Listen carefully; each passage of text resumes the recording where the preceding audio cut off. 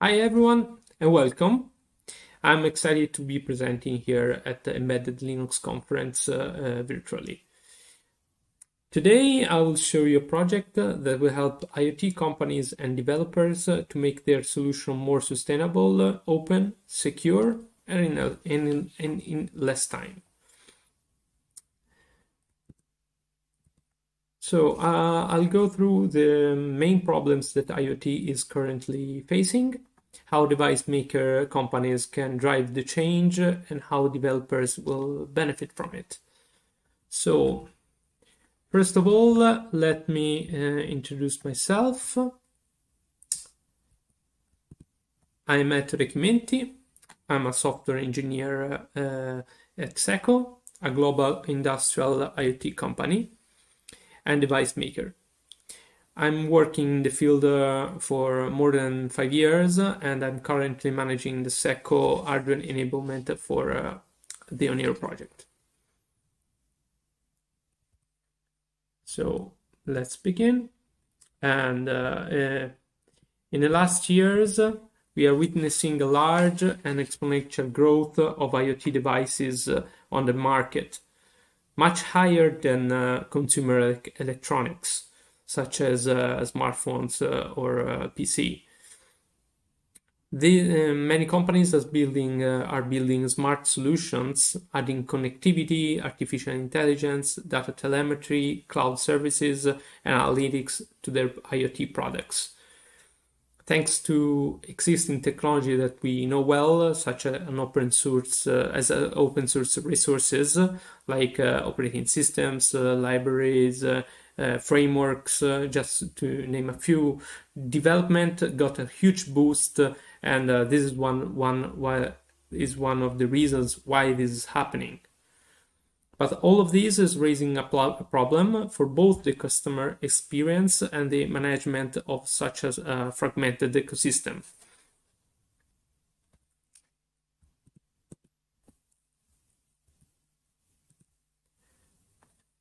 So, um, why uh, fragmentation is bad in IoT and we should uh, avoid it?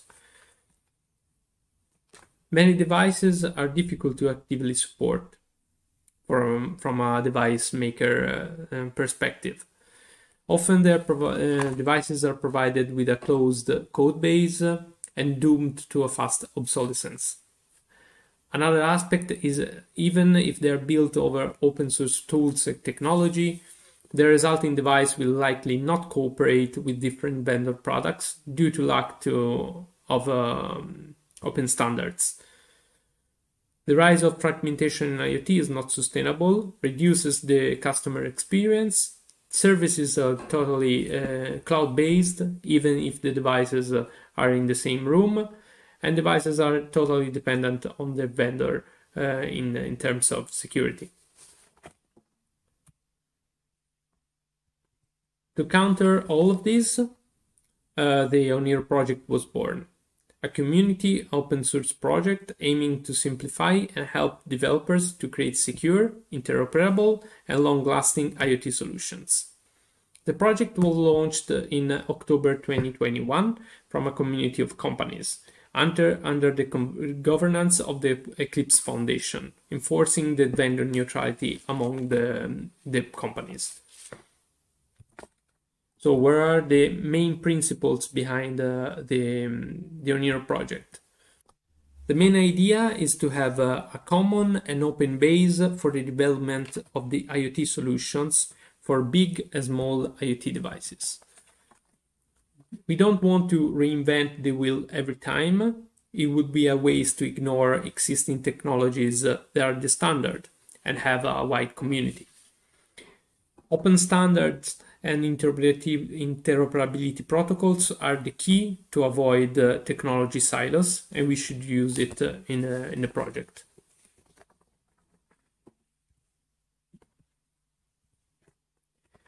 So, Linux-based architectures are very common nowadays, and many developers are used to the Yocto project and the BitBake build system for, uh, for embedded.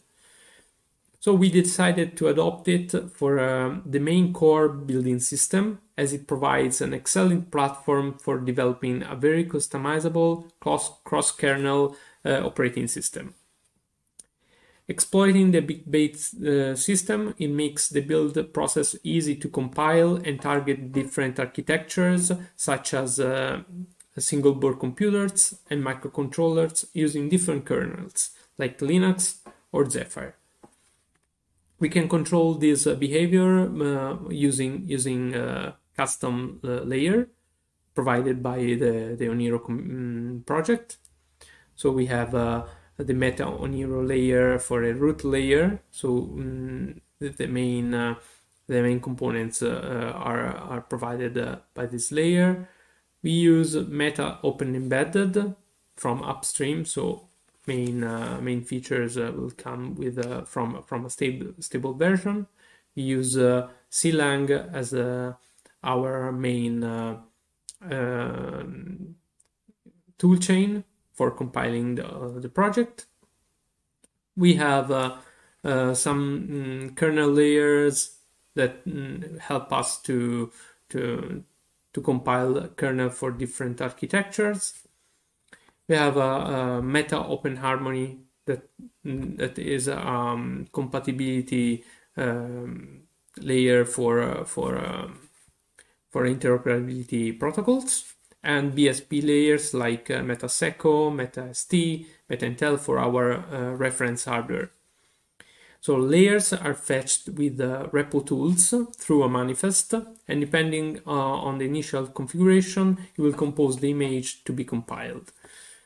In, we, we already provide some uh, uh, basic image to, to be compiled for, uh, for our reference board, but everything can be expanded and um, many contribution can be uh, composed for, for making any, any, any type of image that uh, your, your project requires.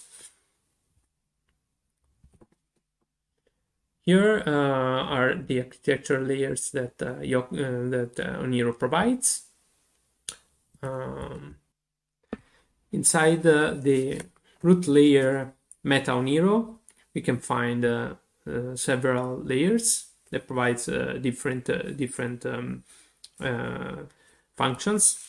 For example, uh, from bottom to top, we have the kernel layer that is responsible of the kernel selection and build. So it's possible to select a different kernel uh, depending if we are targeting a single board computer or a, a microcontroller. And uh, we have the system uh, services layer that will provide a complete set of capabilities essential to Oniro to offer services for application like OTA support, communication, discovery, device management, everything that we need uh, for uh, an IoT project. Then we have the framework layer that will provide an SDK to develop uh, on your application in multiple languages, depending on the target device class and its uh, hardware um, constraints. As an example, we have uh, um, graphical uh, frameworks uh, that uh, the, the, user can exploit for making their own um, their own product, for example. Lastly, we have the app layer that Oniro apps will be able to use API to expose a business logic as ability that may have, uh, for example, inside other application like uh, uh, artificial intelligence or speech recognition.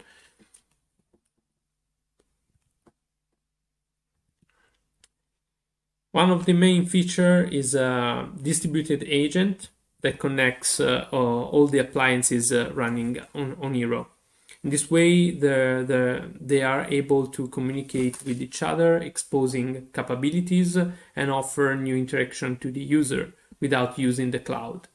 So the, um, the user application can exploit the, the resources uh, among all the devices uh, running Oniro to make new, new interaction uh, that will uh, uh, enhance the user experience. Of course, we have also some connectivity protocols that the, the user can exploit. So, for example, we have some um, mm, protocol agnostic um, um, libraries that can use uh, CoAP, uh, MQTT, uh, OpenThread. we have some of, of the some examples that are available for um, for hacking and starting new projects, for example. And um, but Oniro is not Mm, just uh, uh, layers, uh, Yocto layers, and and and libraries. We have a, a whole um, mm, infrastructure that we provide to, to companies and users. In your project, have an, an infrastructure that checks IP compliance, provide documentation, a testing environment with a reference platforms. All the infrastructure is based, is based on uh, GitLab runners that triggers test builds, Lava worker, and IP compliance. Lava is a, a test environment that we use uh, for uh, mm, test uh, real uh, hardware and uh, Lava workers are triggered to ensure that every device still boots and passes all the tests after every merge request. There are several labs uh, and each of them hosts uh, many uh, reference boards to avoid regression that could uh, affect stability. This uh, makes the, the project always um, production ready and ensure that project that I'll build with it still passes all, the tests. We have also an IP and POS uh, compliance tests that are based on the OpenChain uh, specification. Uh, it is crucial uh, for this type of project uh, to enforce openness uh, and that the project is usable by anyone. So we follow strict IP standards like also SPDX, reuse, and uh, Debian license check. Summarizing, the open source software core is maintained and kept up to date uh, with stable components from Yocto, BSP layers, toolchains, call libraries, and Oniro frameworks.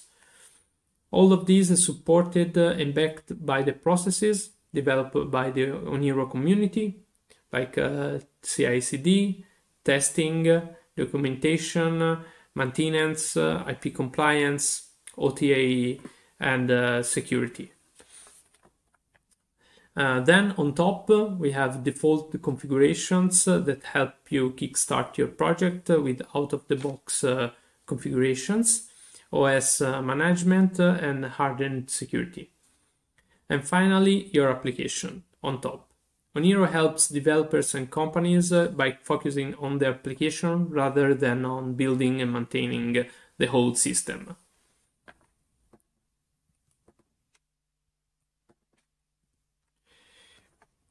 To start with, uh, Oniro is giving some defaults uh, that user can pick up to rapidly build real applications, but every piece is customizable and replaceable with uh, by design uh, with your preferred uh, choice. As an example, we are using RAUC as the OTA engine, but the wrapper and the APIs around it are flexible and can support also other engines.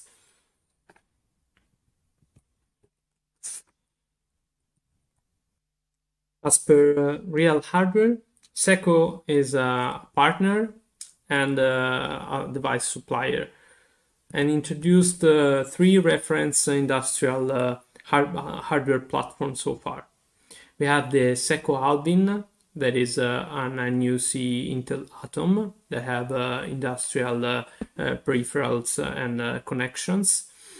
We have um, an NXP single board computer that has a dual Ethernet. we have a uh, an heterogeneous uh, mm, processor. They have uh, both a microcontroller and uh, an application uh, processor. And then we have a cost-effective uh, uh, board that has um, an ARM Cortex A35 and an STM32.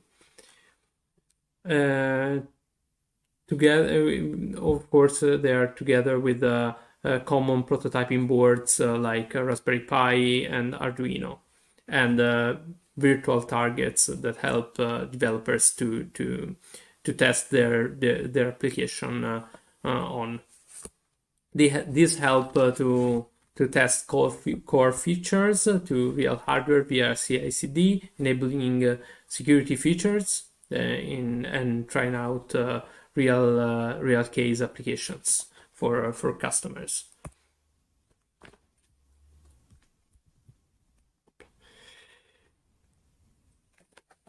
Reference hardware also help uh, uh, helps build uh, what we call blueprints, MVPs, or better uh, reference design for real case applications that showcase one or more features uh, of the Oniro platform. In this way, it is easier for the developer to know how to implement a certain feature or for companies to pitch ideas for a real use case. As an example, we have a, vending machine blueprint that provides uh, support for building a proof of concept uh, smart vending machine, uh, showing the capabilities of the Oniro project. For example, we used uh, the the Intel uh, board uh, with a with a um, uh, uh, and that expose capabilities like a, a, video, like an HMI screen, and a selection matrix built with LEDs. So, what is the added value of uh, of Oniro here. So you you get to to have a co-investment among other uh, uh, partners that, that, that are around the Oniro project, and you get the shared pool of expertise and know-how is a global ecosystem uh, rooted uh, in uh, in Europe. and you you get to code, develop, and deploy your your applications. It's you, you get a unified set of configs, API, and protocols that are uh, natively for built for uh, for IoT, and you get a shared go-to-market strategy uh, for building your uh, your application. Uh, the project is already out of the staging process, and you can start to look inside uh, the first features. So you can download uh, the the project, uh, start using uh, uh, from from the the the, ba the, base images to on the on the reference uh, hardware or um, to the virtual virtual machines. You can try try it out and hack the the blueprints that are um, already already available. You can read the documentation and uh, hopefully you can contribute into the community. We are available also in uh, IRC, or you can chat with uh, with the developers. And uh, thank you for your time, uh, and I hope you join the community. I will be available for uh, for comments and and questions after after the the um, the presentation and. Um, uh, Uh, there is a booth uh, in uh, in the Linux conference uh, if you want to to to chat with uh, with other developers and members of the Oniro project. Thank you again for your time